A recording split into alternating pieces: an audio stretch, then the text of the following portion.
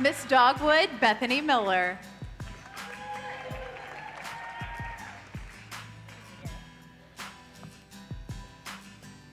Bethany, your question comes from Savvy Shields, Miss Arkansas 2016 and Miss America 2017.